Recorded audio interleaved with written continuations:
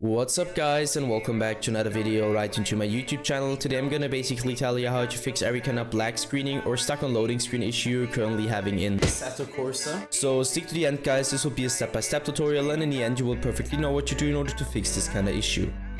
Before we start right into the video, I just want to you guys know or let you guys know that I would really really appreciate it if you would just leave a like, a comment or a subscription right into my YouTube channel. It would really make my day and help me out as a little YouTuber as I am. Especially subscribing would be such a big support for me guys. You would support my work on YouTube a little bit and I'm gonna really really be thankful for that and I'm gonna thank you for that. So anyways, I would just say let's get right started.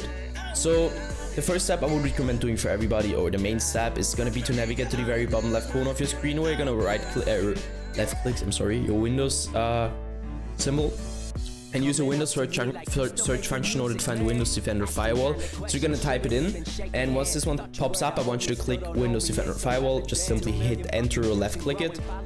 Once it pops up, navigate to the top left corner, click into the second link where it says allow an app or feature for Windows Defender Firewall. You're gonna click on that.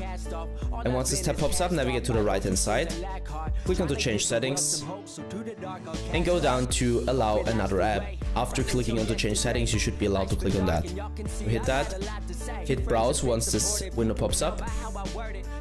And now I can't really tell you where it's, where it's located because on every single PC is located somewhere different. You need to search it for yourself and once you found it you're gonna hit open and afterwards you're gonna hit add and once you hit add it should be it. You can close these tabs and this should be it guys. I hope that I could actually help you out with this video. If it was like that just leave a like, a comment or a subscription. I'm gonna really be thankful for that and yeah guys anyways I would just say have a nice day, see you at the next one and bye.